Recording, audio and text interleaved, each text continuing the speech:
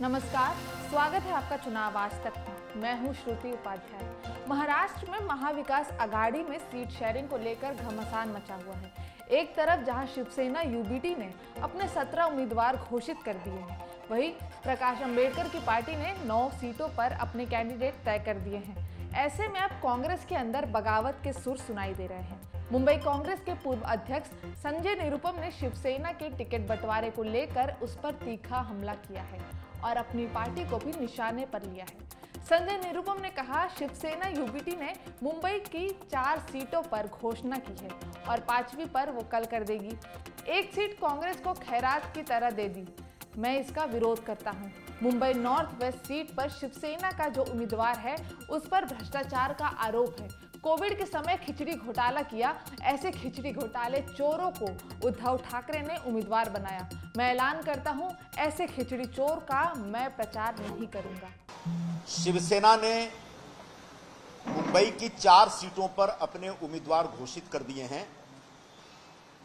और मेरी जो जानकारी है, पाँचवें सीट के उम्मीदवार भी वो कल परसों तक तो घोषित कर देंगे।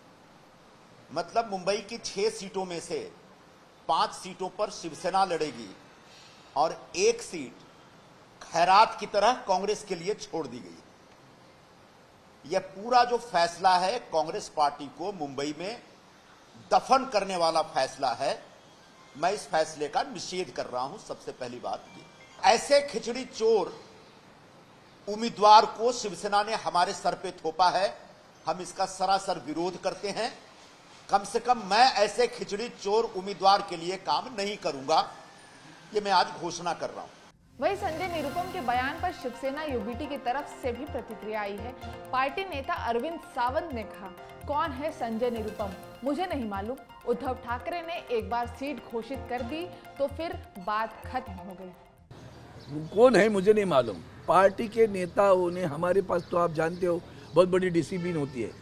आदरणीय उद्धव साहब ने एक बार घोषित कर दिया खसम बात तो वो फालतू क्या बोलते हैं? हमारे बाला साहब कहते थे। वो लोकशाही नहीं मानते हम लोग। जन वो जनतंत्र नहीं होता। भाई, उनको जो, उनके पार्टी में ऐसे थोड़ी फ्रीडम है। कहीं नहीं तो उससे क्या मतलब है? कल पार्टी के सारे नेतागण इकट्ठा के बोल दिए, जुटेगा भारत, जीतेगा इंडिया। सावन के इस बयान पर संजय निरुपम ने कहा, वो नहीं जानते, वो बूढ़े हो गए हैं। अरविंद सावंत को मेमोरी लॉस हो गई है। जो सज्जन ये सवाल उठा रहे, कौन संजय निरुपम?